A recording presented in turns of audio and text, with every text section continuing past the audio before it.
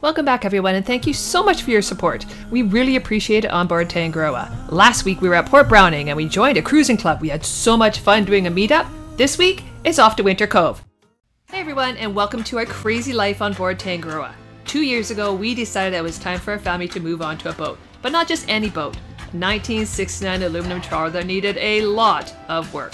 Of course, being the crazy people we are, we decided we could do the whole refit ourselves. I personally am surprised that we're not divorced yet and that our kids have not disowned us. But soon, Tangaroa will be ready for our trip around the world. We hope our adventures inspire you to live each day with laughter and appreciation. Visit us at onboardtangaroa.com for early access to ad-free videos. So what'd you think about our new intro? We would love some feedback. Just comment below. So where are we heading to now, Captain Blaine? Winter Cove. Winter Cove. We just left. Uh, I don't know where we were either. Wait, wait. Port Browning. so Winter Cove is a nice protected area. It's actually, well, it's actually up here. Big cove in here. Uh, this is Saturna Island. But to get in, you've got to go around and through. It's quite protected, and that's where we're heading to for the night. So straight in front of us is Irish Bay, but we're going to go around these rocks right here. You can see them these. This is the rock reef. You got to go around. So we're going to go around it and pop in to there, and that's Winter Harbor. So I think we all slept pretty well last night, though I think we drank too much. And I never sleep when I drink. Not that much. That much meaning like four ciders. If you look straight over there, that's the park where you dock your tender. And this is a little boat channel that gets you out towards, um, towards Vancouver actually. So this is perfect. This boat, I don't know if you can see it, it's right there, the big power boat. Um, Blaine spun so much. Hold on. Go over here. That boat, the Jenny 66, they're just heading out, a lifting anchor. So we're like, let's just take their spot. It looks perfect for us. They're 66 feet, we're 78. It's about the same. So we're just waiting until they haul up anchor. Where are they? There they are. We're just waiting until they haul up anchor and then we're just gonna plunk ours right down where they are. It's perfect. Megs for a walk. First Right, thing Miss after Maggie? anchoring is you've got to get the dog to shore.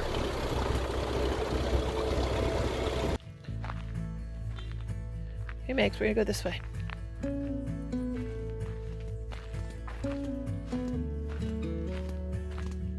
It's a beautiful walk. Oh, look at the boardwalk Blaine. This is one of those salt marshes.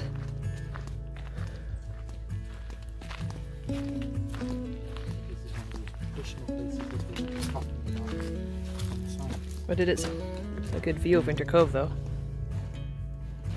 Again, this is Saturna Island. A couple Canada geese over there.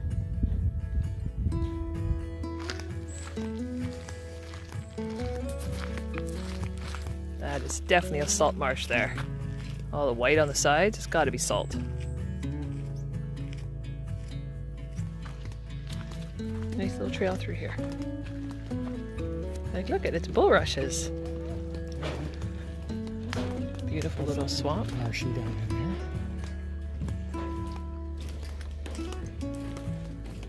there. I know, but they're bulrushes.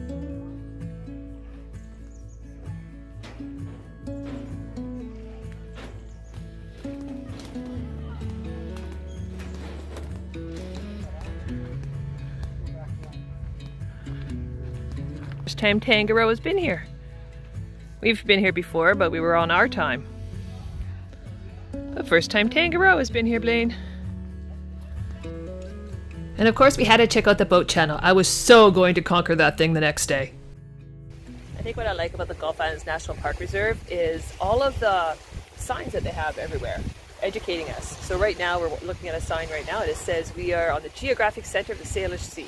These waters and adjacent lands are the traditional homeland of the Coast Salish nations. For millennia, Coast Salish people have traveled throughout this place to maintain family ties, harvest resources, and trade. While it's difficult to estimate the population of this area before colonization, between 50,000 and 150,000 people may have lived here, Oral histories suggest that this Coast Salish Sea provided well for all of their children.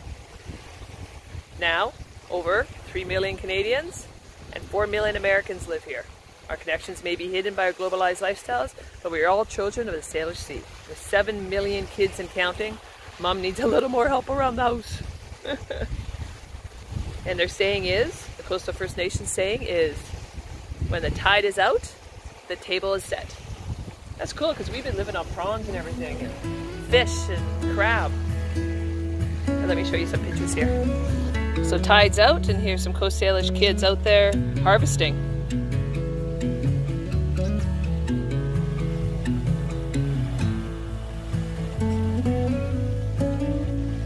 There it is, the Coast Salish Sea.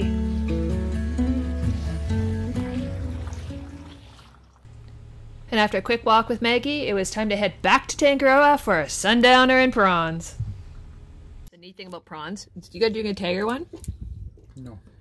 Okay. can do a tiger. No, p- yeah, I didn't know this. So we got two different prawns here. You got the tiger and the spotted. So this is a tiger one. That's a spotted. Oh yeah. But peel the tiger. I did not know this. I will peel the tiger. I know I don't say tiger right. I'm sorry. Look at Oh, the meat is striped too. So just as a comparison, Oh, peel the spotted. They're all gonna be butter flavored, so. I did not know that. I learn something new every day. You? absolutely. Tell it's a smoky sky with this sun right now.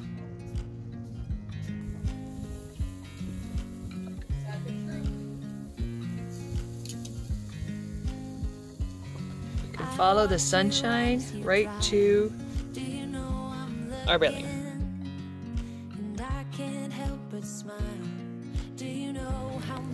Watching sunset, roasting marshmallows. Go Blaine. And drinking hot chocolate and Baileys. I think it is. That's why I wanted to try and capture this amazing like- sun. Look That's at like tangerine red, there. Going oh, backwards right there. blood orange. And after some hot chocolate and Baileys, it was the perfect time to go for a sunset paddle. Maggie and I wanted to go check out Church This is Cove. Church Cove. Sorry, this is Church Cove that we're just cruising into. It's kind of coming to sunset, but it's really smoky right now, so you just can't see the sun. Maggie's with me on the board. This is only her second time paddleboarding, so she's getting kind of used to it. And supposedly in here is the old church. There's now a boathouse or something, so we're just taking a cruise in to see what we can find. With you, everything's complete. Do you know how much I love you? Mm. I put your favorite song on. Look at the old church. Wake you up. When I dance Oh, that's beautiful. I can't help but feeling. Just loving this moment. Can we stay here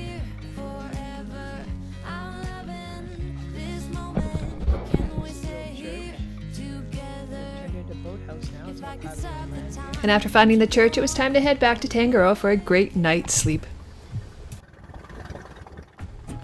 The next morning, Brian and I took off to conquer the boat channel. This might just push us right through. Yeah. Here we go. Are you ready for the ride? Stay in the middle. Woohoo! Woo!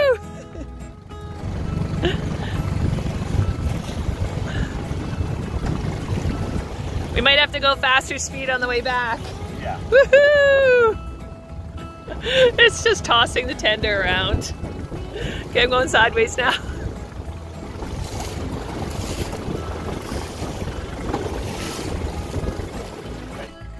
Usually the boats come through here full speed. There was a boat behind us, and he actually didn't realize that we were going through the channel a little bit slower, so he had to do a quick U-ey and then come in again.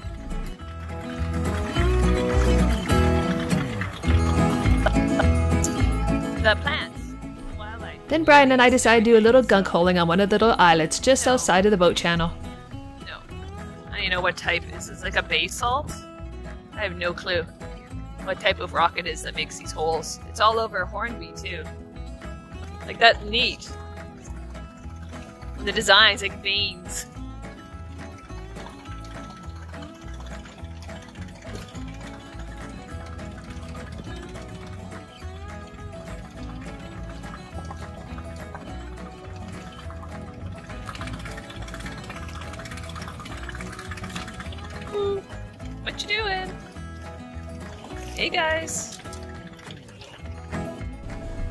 The seals love to tease Maggie.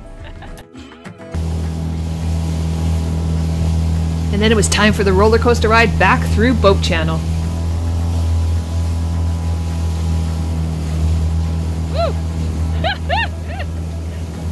Oh, that was a bit wiggly. After a fun-filled morning, it was lunchtime, and then Blaine and I headed on shore with Maggie for a quick walk before heading back to our mooring ball.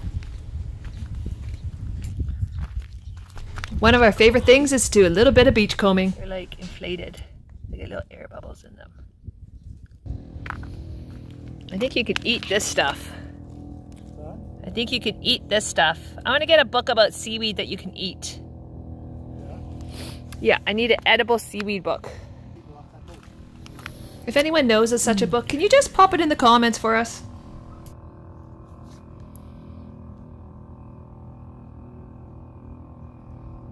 It's like a little animal. Hello, little girl. This is what we need to do today. Let's go play. We can swing. I can see why the kids use this as a whip. It's kind of cool how the oysters attach itself. This would have been an oyster here, and that's just the bottom shell left. These are all barnacles. There's little creatures in them. When they're alive, if you press on them, they push in. These little beaks here, they come out.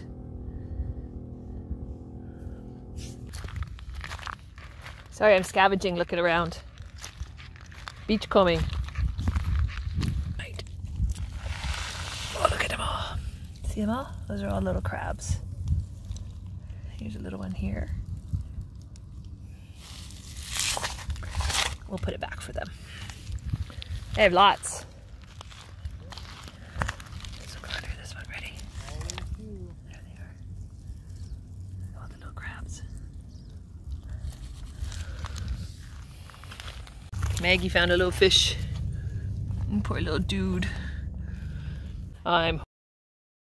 And then we were honored to meet a Wasanage First Nations girl who was hired by BC Parks. She took the time and helped us learn how to pronounce the words of her language. Oh, you're gonna have to help me with this one. That one is Salem. Slalom? Salem. Swordford. Slalom. Swordford. I'm important in Wasanik. Wasanich? Husseinich. Quisanich. I'm gonna say it right now. Say it once more. Husseinich. Quisanich. Ceremonies and pit cooking. We just left Winter Cove and we're actually going to go north around and go to the other side of Winter Cove. So this is Samuel Island on our right and this is Lizard Island. There is actually a little house on this island. There's a couple. Um, I don't know about Samuel Island. I've got to find a little bit of history on Samuel Island.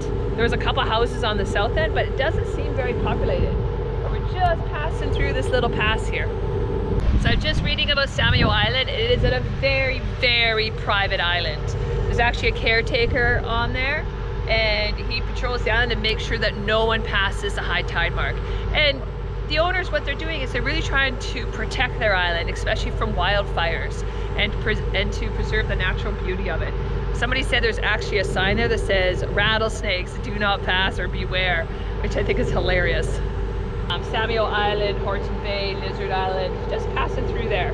And we're actually going to go through this little entrance here, go around the northern tip of Samuel Island, then come down the far side, and we'll be kind of between Samuel Island and um, Saturna and mainland. It seems that these channels we're going through are very narrow. However, you have to remember these are fjords. We are glacial, so they're extremely deep. Just looking at Samuel Island on the right, and there is a sheep on the beach.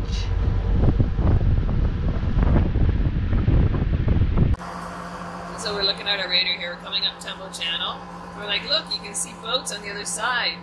But there's no way because these ones just hit the island down here. Just some interference.